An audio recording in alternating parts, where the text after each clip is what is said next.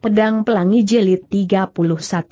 Jangan, jangan sekali-kali kau berbuat demikian, seru Yap Ling dengan perasaan terkejut bercampur cemas Cheng Chu dapat menaruh kepercayaan kepadamu. Mungkin dia melihat ilmu silat sangat hebat, karenanya dia memberi jabatan sebagai utusan lencana perak kepadamu. Selama kau tetap membungkam, mungkin kau akan tetap selamat dan aman, tapi sekali kau ungkap persoalan tersebut dapat dipastikan selembar jiwamu jadi terancam bahaya maut.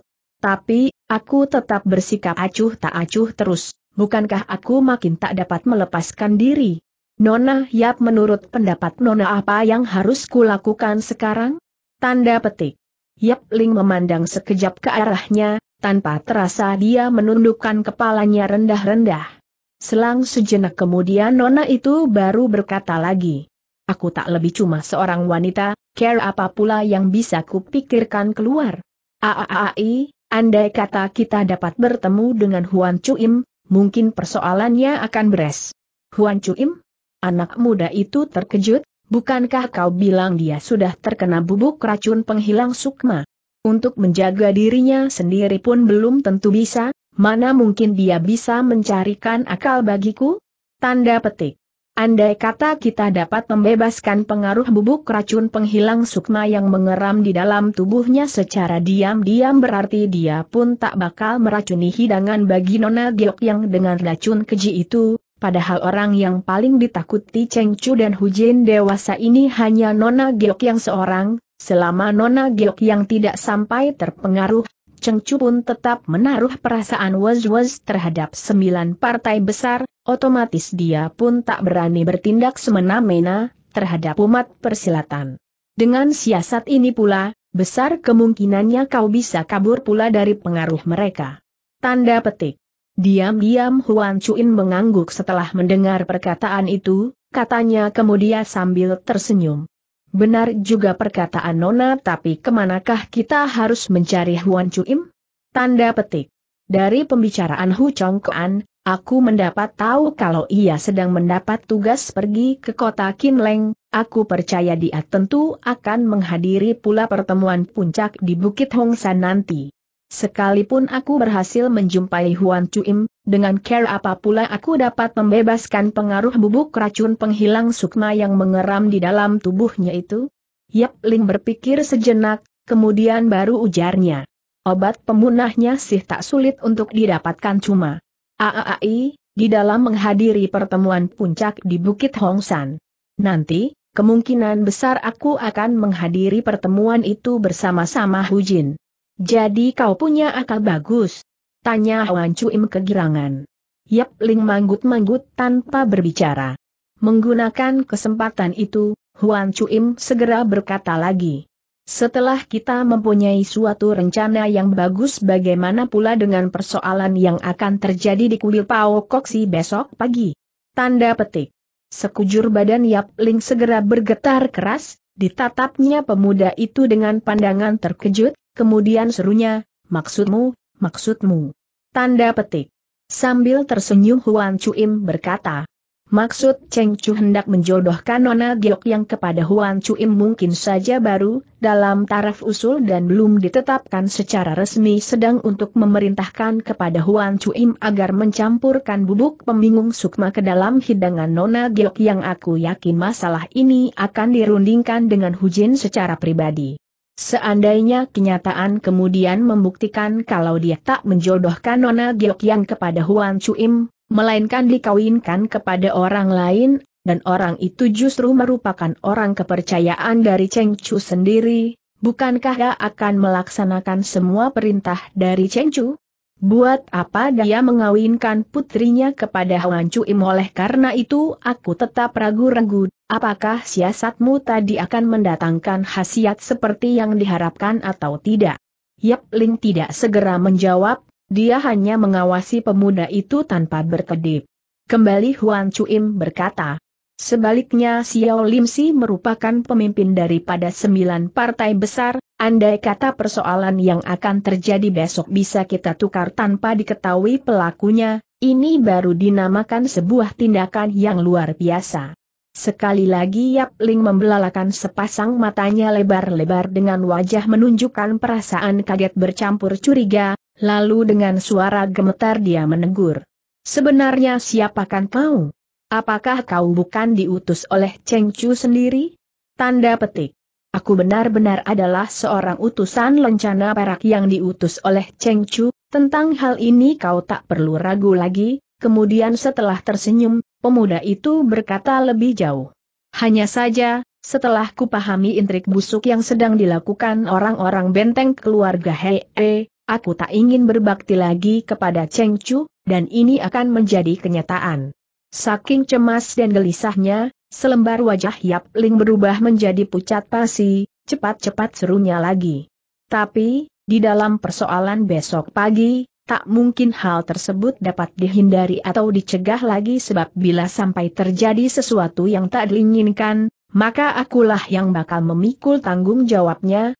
Coba bayangkan, bayangkan. Bagaimana mungkin aku bisa pulang untuk mempertanggungjawabkannya? Tanda petik. Di dalam peristiwa besok pagi, yang tahu pun hanya kau dan aku apalagi semua tugas dan pekerjaan toh dilakukan oleh Lam It, Asalkan kita persiapkan sebuah rencana yang bagus untuk menggantikan sasaran menjadi lain, kecuali kita berdua, siapa lagi yang bakal tahu. Kau masih tetap dapat pulang untuk memberi laporan serta memberi pertanggungan jawab. Tanda petik. Dengan perasaan terkejut bercampur curiga Yapling mengawasi si anak muda itu sekejap kemudian bertanya. Jadi kau, kau pun mengetahui kalau dia bernama Lam It. Huan Chuim tertawa. Semestinya kau juga tahu bahwa kedatanganku kemari karena sedang melaksanakan tugas? Tanda petik. Tidak Yap Ling segera menjeleng kepalanya berulang kali lalu sembari menatap pemuda itu lekat-lekat, desaknya lebih jauh, sebenarnya siapakah kau? Tanda petik. Apakah aku telah salah berbicara? Tanya Huan Chuim kemudian Yap Ling mendengus. Lam It merupakan kode rahasia dari hujan untuk anak buahnya, jangan lagi kau sebagai anak buah Cheng Chu, biar Cheng Chu sendiri pun tidak tahu lantas dari mana kau bisa mengetahui tentang kode rahasia tersebut? Hayo katakan cepat sebetulnya siapakah kau? Tanda petik. Oh oh oh, diam-diam Huan Chuim mengangguk, rupanya antara Empek Hee dengan istrinya pun terjadi persaingan tak sehat, sehingga mereka saling curiga-mencurigai dan tidak mempercayai satu dengan lainnya berpikir demikian, dia pun berkata kepada gadis itu. Aku Shihuan, tapi namaku bukan Tian Beng. Yap Ling segera menyembunyikan tangan kirinya di balik pakaian lalu dengan wajah sangat tegang dia menegur. Lantas siapakah kau? Huan Chuim tertawa. Kau tak menyiapkan jarum beracun lagi apakah ingin membunuhku untuk menghilangkan saksi? Tiba-tiba sepasang metu Yapling berubah menadi merah, ucapnya. Apabila apa yang kita bicarakan barusan sampai kedengaran Hujin, berarti aku akan dijatuhi hukuman mati. Bila kau adalah petugas yang dikirim oleh Hujin lebih baik aku bunuh diri saja di hadapanmu, salahku sendiri mengapa tidak baik-baik mengenali orang sebelum membicarakan persoalan serawan itu, sekali lagi Huan Chuim tertawa. Kau tak usah khawatir, hiburnya, aku bukan petugas yang dikirim oleh Hujin. Kalau begitu cepat katakan kepadaku, bila kau bukan Huan Tianbeng, lalu siapakah kau? Pinta Yapling, wajahnya memelas dan sangat mengibakan hati. Aku adalah Huan Chuim. Kau benar-benar adalah Huan Chuim? Yapling membelalakan matanya lebar-lebar. Yaa, apakah kau masih ragu? Ucap Huan Chuim sambil tertawa, lencana perak ini pun asli, benda ini ku peroleh dari Cheng Chu sehari menjelang keberangkatanku ke Kim Leng, dan lagi bukankah orang-orang Kepang khusus datang mencari gara-gara denganku? Apakah berdasarkan dua hal ini masih belum cukup untuk membuktikan bahwa aku adalah Huan Chuim? Tanda petik. Paras muka Yap Ling bersemu merah lantaran jengah, ia menundukkan kepalanya lalu berkata lirih. Kau telah membohongiku habis-habisan, padahal aku seharusnya dapat menduga ke situ, tapi karena... Karena apa? Desak Huan Chuim. Paras muka Yap Ling berubah semakin merah dan kepalanya tertunduk makin rendah, dengan tersipu-sipu terusnya. Aku dengar orang berkata kau, kau adalah seorang pemuda tampan, oleh sebab itu Cheng Chu hendak menjodohkan Nona Giok yang kepadamu, dan aku dengar hal. Ini pun disebabkan Nona Giok Yang, Nona Giok Yang pun sangat menyukaimu. Atas perkataan mana paras muka Huan Chuim turut berubah menjadi semu merah, untung dia mengenakan topeng kulit manusia, sehingga orang lain tak dapat melihat mukanya yang memerah. Maka sesudah tertawa hambar dan menarik tangannya, ia berkata, Mari kita jangan membicarakan persoalan ini lagi, Nona Yap di dalam persoalan besok pagi, terpaksa aku mohon bantuanmu, apakah kau bersedia? Tanda petik. Yap Ling merasakan pipinya menjadi panas, sahutnya kemudian sambil menundukkan kepalanya. Kaulah yang telah menyelamatkan jiwaku, apa saja yang kau inginkan tentu akan kukabulkan dengan segera, paling banterku serahkan kembali selembar jiwaku ini kepadamu. Ah ah ah, ah. Jangan kau pandang persoalan tersebut sampai begitu serius, hibur Huan Chuim dengan lembut, apalagi aku sudah memperoleh suatu siasat yang amat bagus, tanggung kau masih dapat melaksanakan tugas secara baik serta pulang ke markas untuk memberi laporan. Huan Siangkong, bersediakah kau membeber rencanamu itu kepadaku? Pinta Yap Ling sambil mengangkat kepalanya dan berkata penuh kehangatan. Oh, oh, oh tentu saja. Huan Chuim segera menempelkan bibirnya di sisi telinga gadis itu lalu membisikkan sesuatu dengan suara lirih. Kemudian tampak Yap Ling manggut-manggut seraya menyahut, baiklah kalau begitu. Hap Hui atau nama lainnya Kui Chin Hu merupakan sebuah kota provinsi yang sangat besar di sebelah utaranya terletak Bukit Wasan dengan sebelah selatan menempel di Telaga Chow. Sebagai sebuah kota perniagaan, kota tersebut ramai sekali dengan orang yang berniaga. Kuil Pau Kok Si merupakan sebuah kuil termegah di kota Kui Chiu ini, Luasnya mencapai beberapa ratus bau dengan jumlah pendetanya mencapai seratus-dua ratus orang lebih. Ketuanya Tek Cheng berasal dari kuil Xiao Lim Si, sebagai angkatan dengan huruf Cheng, ia merupakan murid angkatan kedua dari Xiao Lim Pei. Kuil Pau Kok Si masih termasuk dalam pengawasan Xiao Lim Pei. Itulah sebabnya ketika Huisan Taisu, ketua ruang Lohantong dari Xiao Limbe yang kebetulan lewat di kota Hap Hui otomatis menginap pula di kuil Pau Koksi tersebut. Waktu itu saat menunjukkan tengah hari ketika dari luar pintu gerbang kuil Pau Koksi muncul seorang siangkong anak sekolahan yang tampan didampingi seorang kacung buku yang berwajah cerah tak salah lagi mereka adalah Huan Chuim serta Yapling. Baru saja mereka berdua memasuki pintu gebang, seorang pendeta berbaju hijau segera menyambut kedatangan mereka dengan merangkap tangannya di depan dada. Omi Tohut, selamat datang si Chu sapanya. Terima kasih banyak Toa Suhu jawab Huan Chuim sambil balas memberi hormat.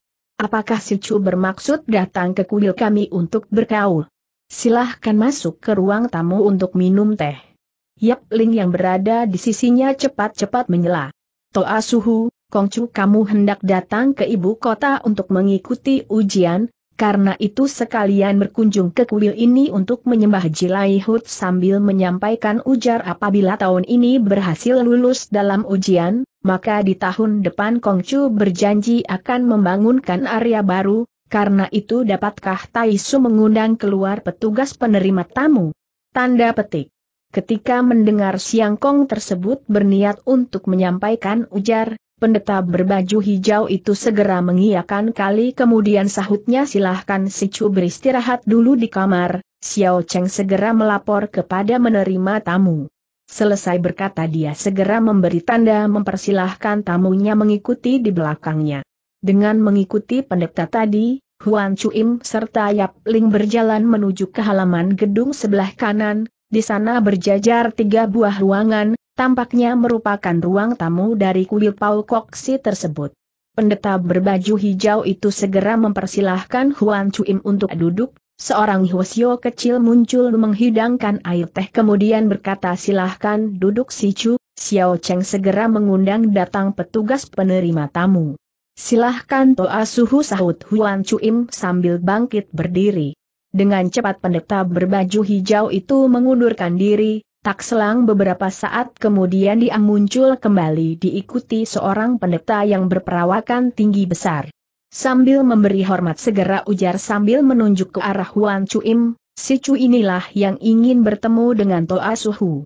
Pendeta berperawakan tinggi besar itu segera memberi hormat kepada pemuda kita dan berkata selamat bersuha Shichu, Xiao Cheng Heng Ti bertugas sebagai penerima tamu dari kuil ini.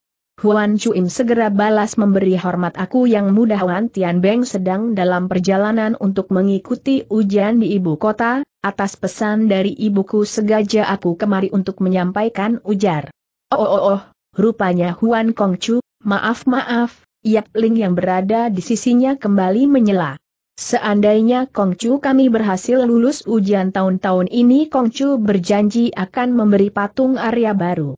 Dengan bekal kebajikan Kongcu tentu akan berhasil ujian tahun ini. Tanda petik. Sebagai petugas penerima tamu tentu saja ia pandai bermanis muka dan mengucapkan kata-kata yang sedap didengar. Dengan gembira Yap Ling segera berseru terima kasih banyak atas perkataan Taisu, setelah bersembayang nanti, Kongcu kami berniat untuk terbuat amal terhadap seluruh suhu yang menghuni di kuil ini dengan bersantap bersama. Tolong Toa Suhu membuatkan perhitungan berapa banyak suhu yang berdiam di kuil ini dan berapa tahil perak yang diperlukan untuk bayar santapan siang bersama ini. Tanda petik. Omi Tohut, Siam Chai, Siam Chai, Seluruh anggota kami berjumlah 165 orang, ditambah dengan saudara yang menumpang jadi keseluruhannya berjumlah 173 orang, itu berarti memerlukan 22 meja, dengan tiap meja senilai 5 rence uang perak berarti seluruhnya 11 tahil perak.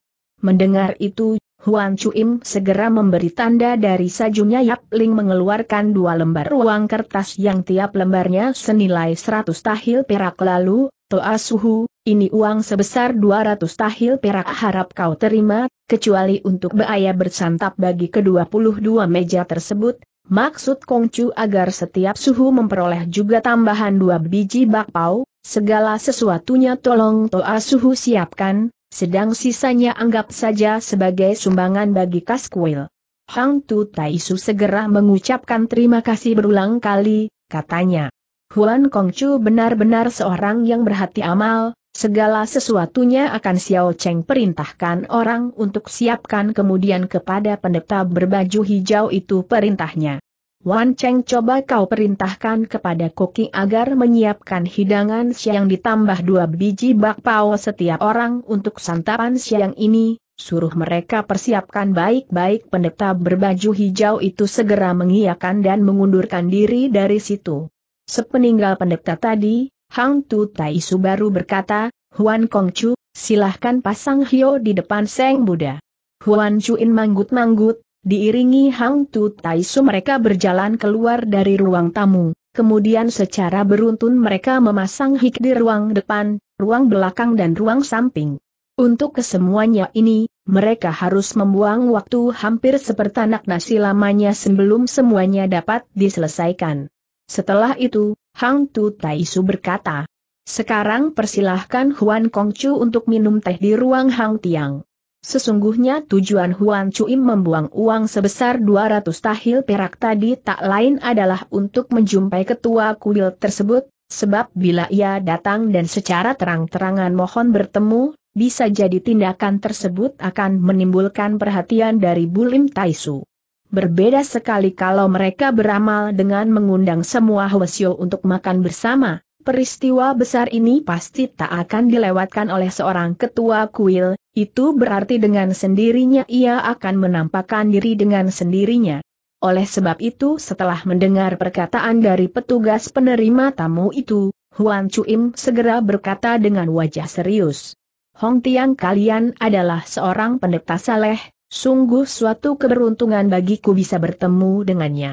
Huan Kongcu terlalu merendah, ucap Hang Tu Taisu sambil merendah, walaupun Hong Tiang kami sudah tua dan biasanya amat jarang bertemu orang, tapi untuk menghormati Huan Kongcu yang telah beramal, sudah sewajarnya bila Hong Tiang kami menyampaikan sendiri rasa terima kasihnya kepada si Chu. Berbicara sampai di situ, dia segera mengangkat tangannya seraya berkata, biar Pinceng membawakan jalan untuk Huan Kongcu, silahkan. Dengan dipimpin oleh Hang Tu, berangkatlah mereka memasuki ruangan lapis ketiga. Di depan Matu sekarang terbentang sebuah kolam seluas sepuluh bau di tengahnya terbentang sebuah jembatan batu dengan tiga buah tekukan di bagian tengahnya. Sesudah melewati jembatan batu, mereka menembusi sebuah hutan bambu, lalu di antara dinding pekarangan yang mengilari sekeliling hutan tadu muncul sebuah pintu berbentuk bulat. Hang Tu segera berhenti, kemudian katanya, silahkan. Di balik halaman gedung terlihat pelbagai bunga tumbuh dengan indahnya, sebuah bangunan pesanggerahan yang mungil berdiri di tengah kerumunan aneka bunga. Baru saja Hang Ti mendampingi Huan Chuin mendekati undak-undakan batu, terlihat seorang pendeta tua berbaju kuning telah muncul dari dalam, begitu muncul ia segera berseru. Xiao Chu, maaf bila lolap tak menyambutmu dari kejauhan. Hang Tu yang berdiri di sisinya segera berbisik Huan Kongcu yang datang adalah Huang Tiang. Huan Chuim segera mengalihkan sorot matanya ke depan, ternyata ketua dari kuil Pau Kok si ini adalah seorang pendeta yang telah berusia 70 tahunan, berperawakan tinggi dan kurus, berwajah ramah dan solah, namun sorot matanya sangat tajam, ini menandakan kalau tenaga dalam yang dimilikinya amat sempurna. Dengan cepat dia maju berapa langkah ke depan setelah mendengar perkataan itu, serunya seraya menjura sudah lama aku yang muda mendengar akan Lo Suhu sebagai seorang pendeta agung, benar-benar suatu keberuntungan bagi kami dapat bersuap pada hari ini, aku yang muda tak berani merepotkan Lo Suhu untuk menyambut sendiri. Haha, haa, haa Xiao Sichu terlalu merendah, silahkan masuk ke dalam untuk minum teh. Didampingi Hang Tu Taisu, Huan Chuim segera melangkah masuk ke dalam ruang Hang Tiang, sedangkan Yap Ling sebagai seorang kacung buku terpaksa hanya berdiri menanti di bawah undak-undakan. Pada saat itulah dari balik pintu tampak sesosok bayangan manusia berkelebat lewat, kemudian nampak orang-orang itu celingukan ke dalam. Dengan ketajaman mata Yapling, ia segera mengenali orang itu sebagai Butim. Waktu itu dia muncul sambil membawa sepoci air panas, rupanya dia bertugas untuk menghantar air untuk Hong Tiang. Padahal ia baru saja datang di kuil Pau Koksi, namun dengan cepatnya dia berhasil menjadi petugas penghantar air. Minum, dari sini dapat diketahui betapa hebatnya cara kerja orang ini, jelas sudah pendekta mandor yang mengepalai dapur telah disogok olehnya. Benar juga, segera terlihat seorang Hwasyo kecil muncul dengan langkah tergesa-gesa dan menerima poci air panas itu, kemudian cepat-cepat pula masuk ke dalam. Tujuan dari Huan Cuim untuk mengadakan santapan bersama para pendeta di tengah hari tadi, tujuannya yang utama tak lain memberi kesempatan kepada Yap Ling untuk menemukan Butim, kemudian menerangkan identitasnya dan bertanya kepadanya kapan akan bertindak. Kini orang yang dicari telah muncul di sana, sebagai tempat kediaman Hong Tiang, biasanya para pendeta kuil dilarang memasuki daerah tersebut bila tidak mendapat panggilan.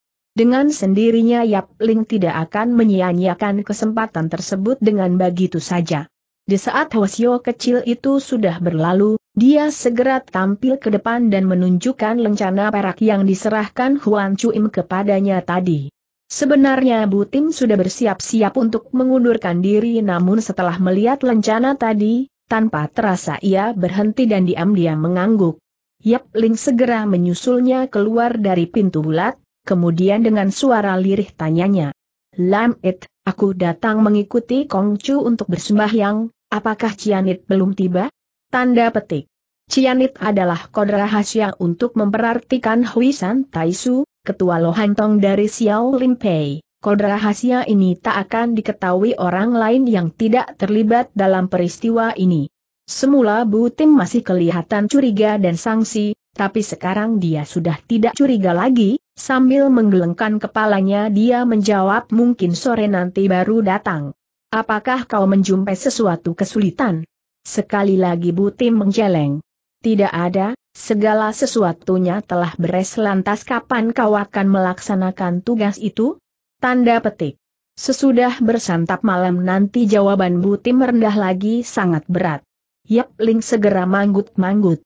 Ehem, kalau begitu kau boleh pergi ia berbisik. Butim tidak banyak berbicara lagi, tergopoh-gopoh dia mengundurkan diri dari situ. Dalam ruang Hang Tiang, tamu dan cuan rumah telah mengambil tempat duduk seorang hwasyo kecil datang menghidangkan air teh. Xiao Sichu, silahkan minum teh kata Tek Cheng Taisu kemudian. Terima kasih. Dia segera mengangkat cawan, tapi menggunakan kesempatan tersebut segera bisiknya kepada Hwasyo tua itu dengan menggunakan ilmu menyampaikan suara. Lo Suhau, aku bernama Huan Chuim, datang dari Hang San dan ada urusan penting hendak dilaporkan kepadamu.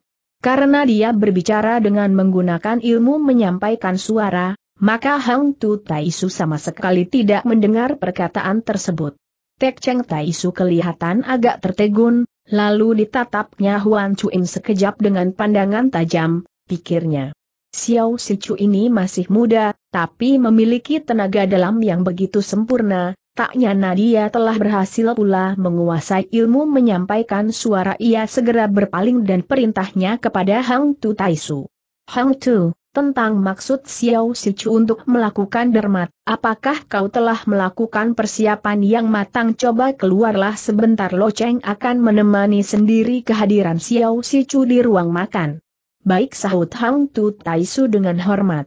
Ia segera bangkit berdiri, kemudian setelah memberi hormat segera mengundurkan diri dari situ. Sepeninggal Hang Tu Taisu, Tek Cheng Taisu baru mengangkat wajahnya serta menatap wajah Huan Im lekat-lekat, ujarnya Xiao Chu, apabila kau ingin menyampaikan sesuatu, sekarang dapat kau utarakan keluar. Huan Im menjura lebih dulu, kemudian baru berkata haraplah suhu sudi memaafkan, andai kata aku tidak beralasan untuk menderma makan bersama, rasanya sulit sekali untuk dapat bersua dengan Lo Suhu, Sebaliknya bila kumohon bertemu secara langsung, jelas hal ini akan menarik perhatian orang. Xiao Sichu mengaku datang dari Bukit Hang San, berarti kau datang atas perintah Ban Loh Hujin bukan? Tanda petik.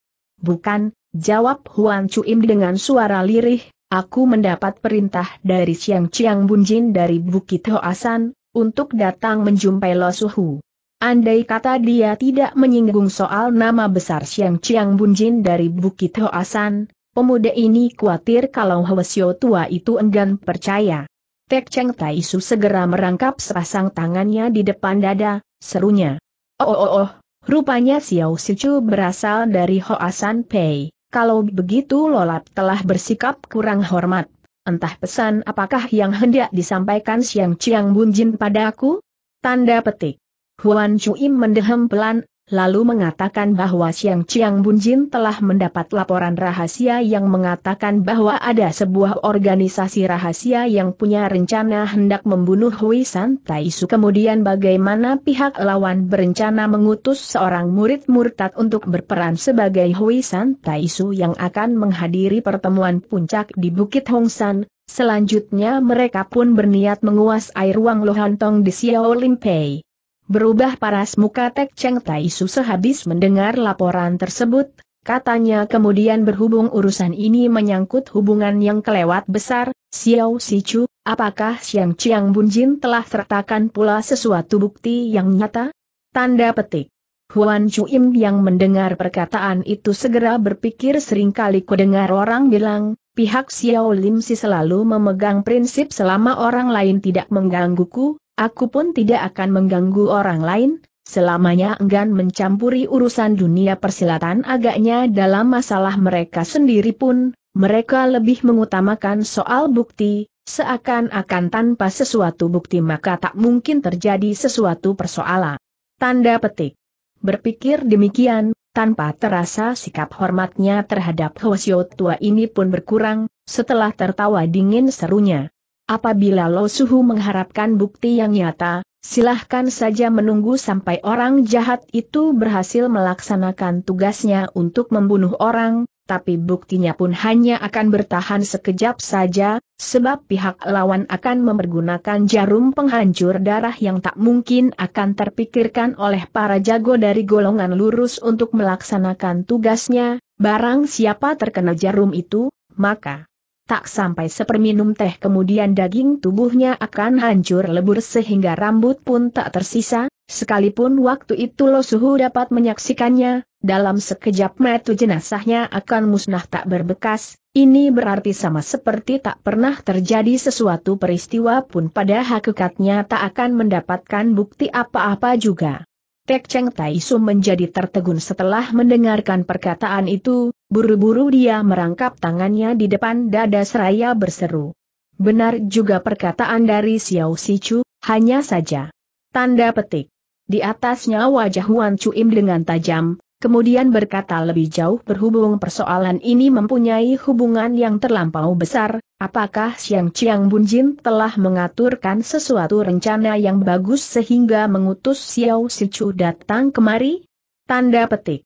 Chiang Bunjin minta aku datang kemari serta melaporkan sendiri kejadian ini kepada Lo Suhau, hal ini dikarenakan persoalan ini kelewat rahasia, oleh sebab itu kita berusaha memberi kesan kepada lawan bahwa persiapannya benar-benar sudah matang tinggal pelaksanaannya nanti, dengan begitu kita baru bisa memperoleh data lebih lengkap lagi, dari titik terang yang sudah ada, apabila rahasia ini sampai bocor, maka akibatnya pihak lawan akan merubah tindakan berikutnya, dengan sendirinya kita pun akan semakin kebingungan untuk menghadapi perbuatannya itu.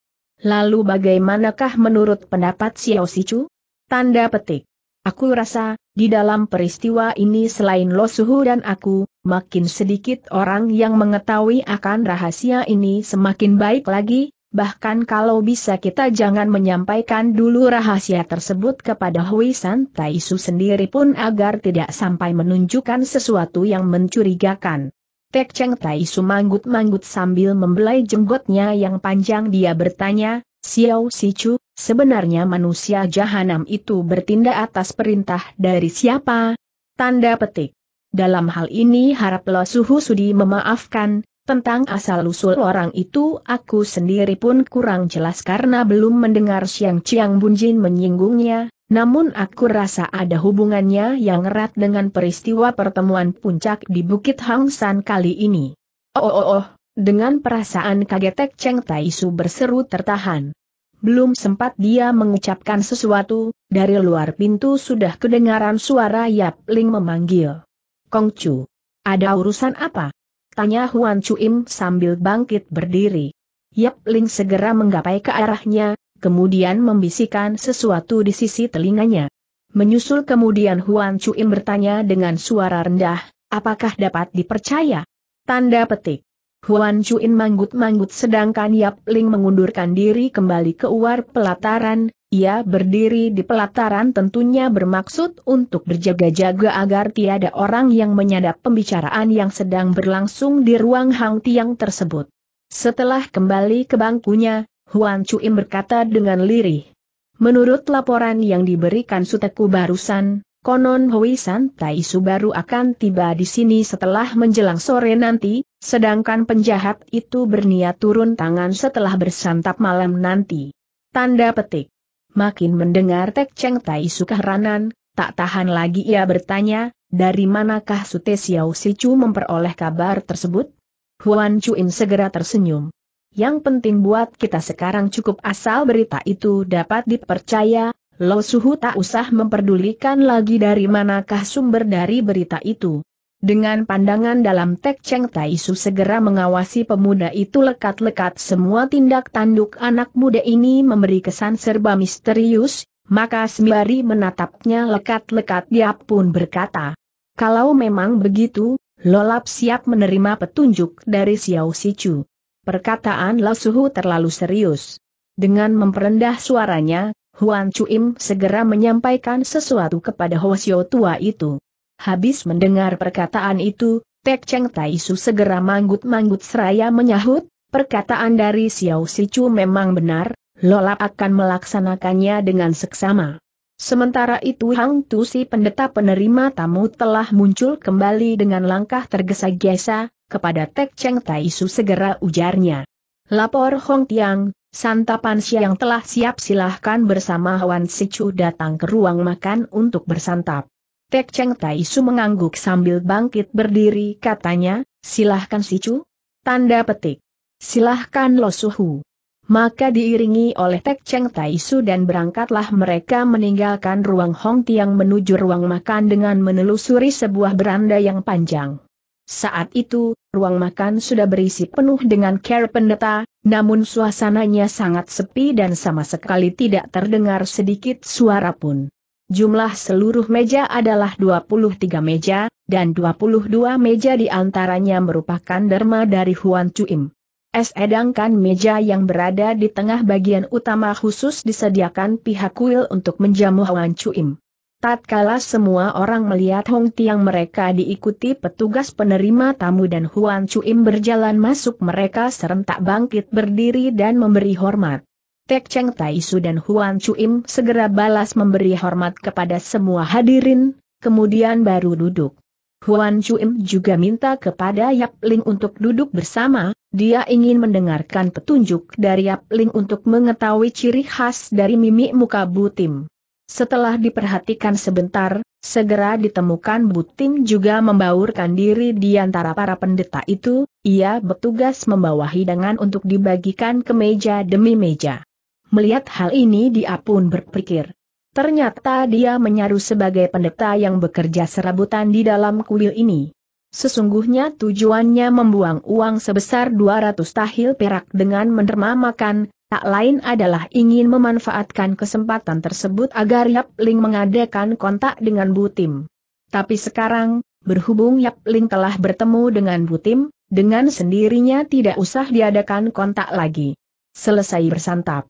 Tek Cheng Tai Su mengundang Huan Chuim untuk minum teh di ruang Hong Tiang, menggunakan kesempatan itu dia memberitahukan kepada Huan Chuim bahwa ruangan di sebelah timur khusus disediakan untuk Hui San Tai Su.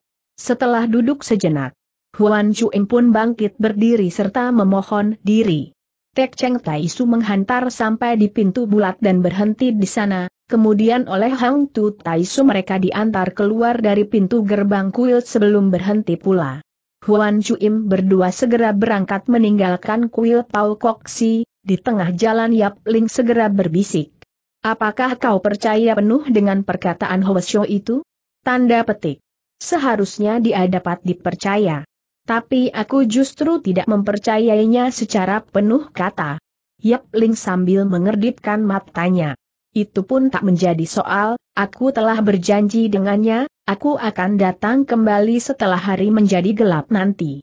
Aku rasa dia pun mungkin menaruh curiga kepadamu, bisa jadi dia akan mempersiapkan jago-jago lihainya untuk mengurung sekeliling ruang Hong Tiang tersebut, apabila kejadian ini sampai diketahui oleh Lem itu, urusan bisa berabe.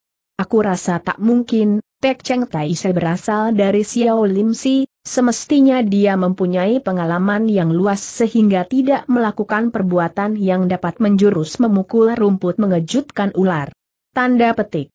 Kau harus tahu, semakin lurus orang itu semakin banyak pula tingkahnya, apalagi bagi orang-orang dari perguruan kenamaan mereka tak akan memiliki pengalaman apa-apa dalam dunia persilatan. Ketika berbicara sampai di situ tiba-tiba dia berpaling dan tanyanya sambil tertawa, bagaimana dengan kau sendiri? Apakah kau pun berasal dari perguruan kenamaan? Tanda petik. Oh, oh, oh, tidak aku tak punya perguruan juga tak punya partai sahut pemuda itu tertawa. Yap Ling turut tertawa pula. Tapi kau pun tidak memiliki pengalaman di dalam dunia persilatan. Tanda petik. Dari mana kau bisa mengatakan begitu? Tanda petik. Sebab meski kau sudah dikuntit orang, nyatanya hingga sekarang masih belum menyadari. Huan Chuim menjadi tertegun setelah mendengar perkataan itu, dengan cepat dia berpaling benar juga tampak seseorang bayangan manusia sedang mengikutinya dari kejauhan dengan suara lirih dia segera bertanya mungkinkah dia? Tanda petik. Kalau bukan dia siapa lagi? Sejak kita berada di jalanan kuil Pau Koksi, Dia telah mengikuti terus, kemudian sewaktu kita keluar dari pintu kuil, kulihat dia sedang bersantai di luar pintu, maka begitu kita berangkat, dia pun kembali mengikuti kita. Menyangkut kau, miripkah dia sebagai anggota Kepang? Tanda petik. Sulit untuk dikatakan, apa tidak mungkin orang Kepang melakukan penyaruan? Ehm, mungkin juga. Tiba-tiba Yap Ling mengangkat kepalanya sambil bertanya. Sebenarnya permusuhan apa sih yang telah terjadi antara kau dengan pihak Kepang? Tanda petik. Panjang sekali untuk diceritakan. Belum habis perkataan itu diucapkan, kembali muncul dua orang dari kejauhan sana yang berjalan mendekat. Padahal jalanan itu paling banter cuma dapat dilewat oleh dua orang, namun kedua orang itu justru berjalan di tengah jalan dengan langkah lebar, seakan-akan tidak memberi tempat kepada orang lain, tak disangka lagi mereka jelas sedang mencari gara-gara dengan dirinya. Huan Chuin mencoba untuk memperhatikan kedua orang itu, sepintas lalu mirip saudagar dan sama sekali tidak menunjukkan pertanda sebagai anggota Kei Pang, hal ini membuatnya sangat keheranan.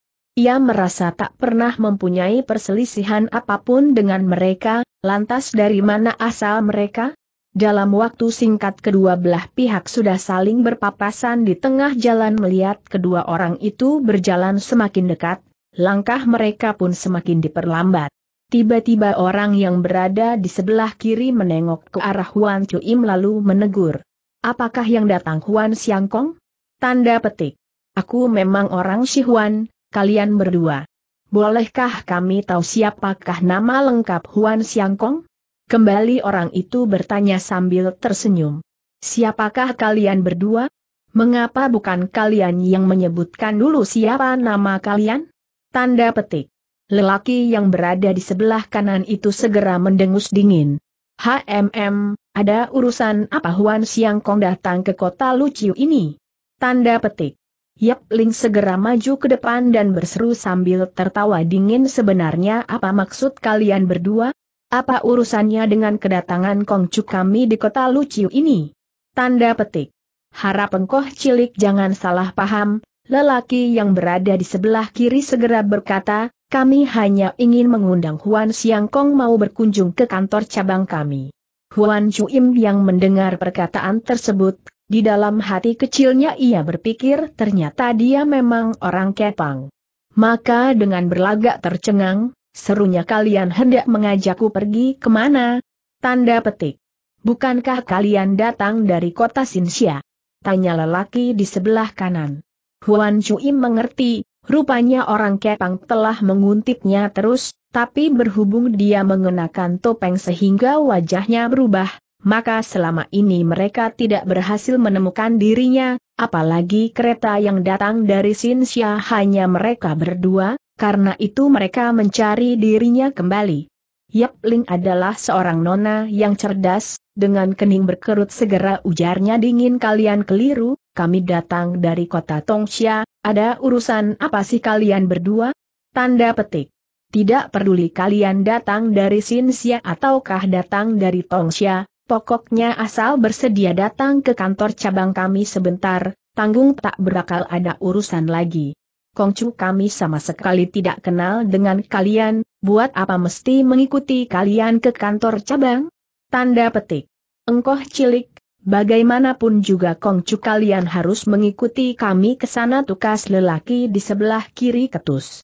Betul, lelaki di sebelah kanan, bila tahu diri, lebih baik ikuti saja perkataan kami Huan Cuim jadi naik pitam, segera bentaknya sebenarnya kalian mau apa? Tempat ini merupakan daerah hukum, berarti di sini pun berlaku hukum negara, kalian. Huan Siangkong, lebih baik kau sedikit tahu diri tukas lelaki di sebelah kanan dengan menggunakan hukum negara, kami mata akan ambil peduli terhadap hukum negara tersebut. Oh, oh, oh, kalian adalah kawanan begundal yang dicari hamba negara, seru Huan Cuim kemudian sambil tersenyum. Betul, anggap saja kami adalah kawanan begundal yang sedang dicari hamba negara. Sekarang, tentunya kalian sudah mengerti bukan, tidak mau mengerti kami pun tidak mungkin bisa? Tanda petik.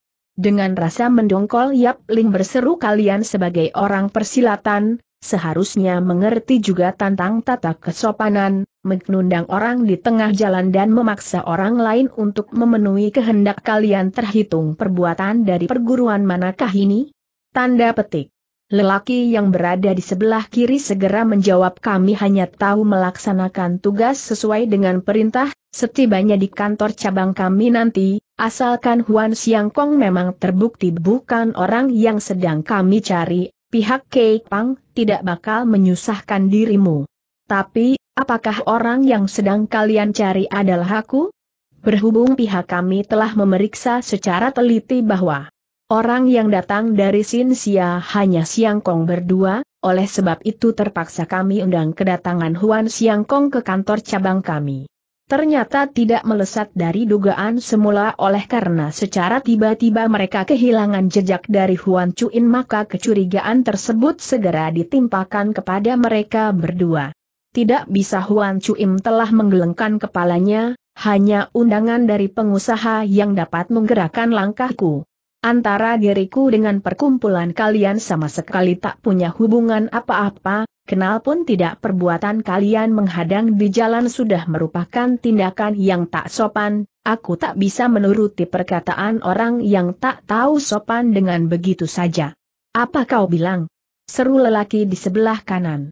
Kongcu kami bilang, dia tak mau pergi selayap Ling sambil tertawa. Tidak mau pergi? Tanda petik. Lelaki di sebelah kanan itu segera meloloskan sebilah golok dari pinggangnya, lalu berseru sambil menegur, HMM, tak mau pun harus mau. Huan Chuim pura-pura berlagak kaget, dia berseru tertahan, lalu sambil menggoyang-goyangkan tangannya berulang kali dan mundur berapa langkah dengan sempoyongan serunya keras. KAA, kalian adalah kaum penyamun. Tanda petik. Tangan kirinya dikebutkan pelan ke samping tahu-tahu golok yang baru dicabut keluar dari sarungnya oleh lelaki di sebelah kanan itu sudah tergetar keras. Diiringi pergelangan tangan yang terasa amat sakit, golok itu segera mencelat ke tengah udara. Akibatnya lelaki yang berada di sebelah kanan itu merasa amat terkejut cepat-cepat dia melompat mundur ke belakang. Lelaki yang berada di sebelah kiri itu tidak mengetahui apa sebabnya golok rekannya terlepas dari genggaman, sambil membentak keras dia meloloskan goloknya kemudian disilangkan di depan dada sembari membentak keras. Huan Siangkong, apabila kau enggan menuruti perkataan kami, jangan salahkan kalau tak akan bertindak sungkan-sungkan lagi Yap Ling tertawa dingin. Heeh, heeh, heeh, dengan tampangmu itu meloloskan golok hanya bisa menakut-nakuti bocah berusia tiga tahun saja, lebih baik kau simpan kembali golokmu itu. Hei engkoh cilik, besar amat bacotmu itu seru lelaki di sebelah kiri dengan marah. Yap Ling kembali tertawa bangga. Buat apa mesti dikatakan lagi? Barusan tentunya kau sudah melihat bukan cukup dengan sebuah sentilan jari yang ringan, golok rekanmu itu sudah mencelat ke tengah udara. Maka bila aku sentilkan kembali jari tanganku, niscaya golokmu itu akan terpental pula ke udara, kau tidak percaya bukan? Tanda petik. Berbicara sampai di sini, dia segera berpaling ke arah Huan Cuim dan tertawa. Tentu saja lelaki di sebelah kiri itu tidak akan percaya dengan begitu saja, dia segera memperkencang genggamannya pada gagang golok lalu sambil berdiri tegak katanya, coba kau sentilah. Pegang dulu gagang golokmu kencang-kencang.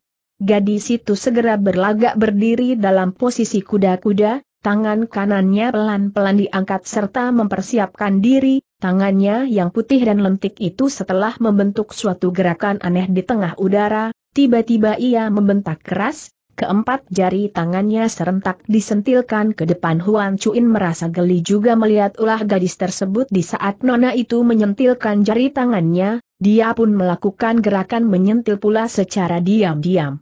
Sudah barang tentu lelaki yang berada di sebelah kiri itu tidak percaya kalau dengan sentilan jari tangan Yapling, maka goloknya dapat dibuat mencelat dari genggaman kelima jari tangannya segera menggenggam gagang golok itu erat-erat lalu dengan menyilangkan senjatanya di depan dada, Ia berdiri angker dengan sepasang matanya mengawasi jari tangan Yap Ling yang melakukan sentilan itu tanpa berkedip. Tiba-tiba saja dia merasakan segulung tangan getaran yang tak berwujud menerjang di atas matu goloknya, kelima jari. Tangannya yang menggenggam golok tersebut segera mengalami getaran yang sangat kuat. Ditambah lagi genggamannya terlalu kencang, akibatnya hampir saja telapak tangannya itu robek. Dalam keadaan begitu terpaksa dia mengendorkan tangannya dan golok itu pun segera mencelat ke tengah udara. Lelaki di sebelah kirinya sangat terkejut sehingga membelalakan matanya lebar-lebar untuk sesaat ia berdiri tertegun di tempat, mimpi pun dia tak menyangka kalau di dunia ini terdapat kepandaian silat yang begitu cepatnya. Sambil tertawa cekikian Yap Ling segera berseru bagaimana? Sekarang kau sudah percaya bukan? Apakah kalian masih juga akan memaksa Kongcu kami mengikuti kalian pergi ke kantor cabang? Tanda petik. Di saat kedua orang lelaki itu berjalan semakin mendekati dan berbicara dengan Huan Chuin serta Yap Ling tadi, orang yang membuntuti sejak dari kuil Pau Kok Si tadi pun makin lama semakin mendekati kedua orang tadi. Ditinjau dari ini, dapatlah dibuktikan kalau antara dia dengan kedua orang lelaki tersebut sesungguhnya berasal dari satu aliran. Tapi sesudah golok yang digunakan kedua orang lelaki itu dibuat tergetar, agaknya orang itu tahu gelagat tidak baik, serta merta dia membalikan badan dan segera mencoba untuk kabur dari situ. Padahal sedari tadi Huan Chuim telah memperhatikan gerak-geriknya, ketika melihat orang itu bermaksud hendak melarikan diri, tak kuasa lagi dia membalikan badan serta berseru. Kembali saja kamu sambil tersenyum dia menggapai pula ke belakang tubuh orang itu. Perlu diketahui, walaupun ilmu Hang Luiying yang dipelajari itu khusus diciptakan untuk menghadapi ilmu Sian Hang Chiang serta Liu Hui Chi, namun orang yang menciptakan Hang Luiying Sin Kang waktu itu tak lain adalah Kiang Chin Jin, seorang tokoh tersohor dari Kun Lumpai. Waktu itu, Kun Lumpai terkenal sebagai gudangnya segala macam ilmu silat mahasakti, terutama sekali ilmu Chiong Hok Li Leong Kang, yang dimaksudkan dalam ilmu tersebut adalah ilmu mendorong serta ilmu menggapai. Di saat Kiang Chin Jin menciptakan Hang Lui Ing Sin di dalam benaknya hanya dipenuhi dengan pemikiran bagaimana caranya mematahkan serangan Sian Hang Chiang dan Hoi E Chi. Meski dia tak menyertai ilmu Chiong Hok Li Leong Kangnya di dalam kepandaian ciptaannya tersebut, tapi sebagai seorang tokoh yang mahir dalam ilmu Chiong Hok Li Leong Kang, tanpa disadari dia menyertakan juga unsur rahasia dari ilmu Chiong Hok Li Leong Kangnya di dalam ilmu Hang Lui Ing ciptaannya. Atau dengan perkataan lain, walaupun ilmu Hang Lui Ing merupakan ilmu baru ciptaannya, namun sama sekali tidak terlepas dari pengaruh ilmu Chiong Hok Li Leong Kang itu. Ketika Huan Chuin melakukan gerakan menggapai barusan, sebetulnya gerakan itu dilakukan secara wajar saja, namun berhubung dalam ilmu Hang Luiying terkandung unsur menggapai dari ilmu Chiong Hok Li Leong Kang tersebut, akibatnya dair balik gapayanya itu, muncullah suatu kekuatan dayanya menghisap yang sangat kuat dari balik telapak tangannya itu. Baru saja orang itu membalikan badan tiba-tiba saja ia merasa punggungnya bagaikan terhisap oleh suatu kekuatan yang maha besar membuatnya sama sekali tak mampu berkutik lagi. Menanti ia berhasil menyadari akan situasi di hadapannya, tahu-tahu saja dia telah berdiri di hadapan Huan Chuim, dapat dibayangkan betapa terkejut dan terkesiapnya dia tak kuasa lagi jeritnya, Kongcu, kau. Tanda petik. Yap Ling yang ikut menyaksikan kejadian tersebut, diam-diam merasa terperanjat juga, dia tak menyangka kalau Hwan Toakonya memiliki kepandaian sehebat itu. Maka dengan wajah berseri karena gembira, dia menengok ke arah orang itu sambil tegurnya. Bukankah kau hendak bertanya kepada Kongcu kami mau apa bukan? Padahal aku sendiri pun ingin bertanya kepadamu, Sebetulnya apa maksudmu mengikuti kami sepanjang jalan? Tanda petik. Aku, aku tidak. Koma orang itu nampak sangat kekuatan. HMM, kau masih bilang tidak mengikuti kongju kami? Jengek Yap Ling sambil tertawa dingin, Agaknya kau ingin menunggu sampai kepunahkan dulu ilmu silatmu sebelum bersedia menjawab? Tanda petik. Kelima jari tangannya segera dipentangkan dan berlagak hendak melakukan gerakan menyentil. Tadi orang itu sudah melihat kelihayan Yap Ling di saat menyentilkan jari tangannya untuk mementaikan golok dari kedua orang rekannya.